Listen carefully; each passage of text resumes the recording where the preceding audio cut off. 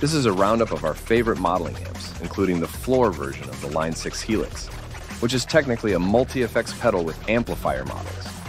Enjoy the list, and don't forget to like and subscribe, which really helps out our channel. Number 1. The Boss Katana Series. The Katana is one of our favorite modeling amps, partly because it's more focused with fewer amp models, but better sound quality. It's good with cleans and high gain, with a bunch of boss effects that give you plenty of flexibility with great tone. It's a good modeling amp for someone wanting a simpler interface to work with. Less is more with the Katana series. Number 2.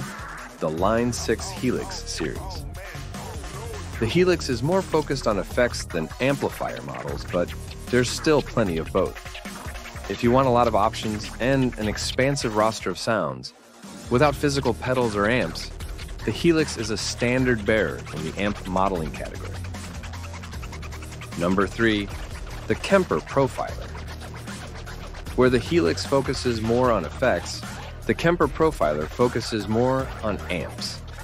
In fact, you can even capture amp sounds and create digital models of them.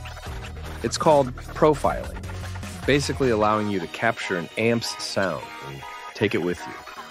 It's definitely a unique and innovative take on the amplifier modeling concept. Number 4.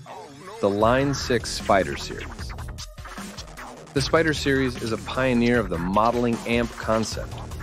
New releases of this amp are similar, with a well-stocked roster of amplifier models and effects.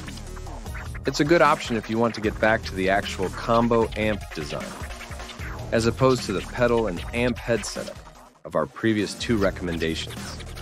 It's also far cheaper. Number 5. The Fender Mustang LT Combo. The Fender Mustang series is similar to the Line 6 Spiders, though Fender rolled these out more recently, which strikes me as an attempt to get in on this market once they realize how popular it is. But still, there's good value in the LT series, especially for beginners and lower budgets. Keep in mind, we don't like it as much as the Katana, and they're both in a similar price range. Modeling amps are a different kind of experience. If you're used to a traditional tube or combo amp, it's a great fit for those wanting flexibility and variety in their rig.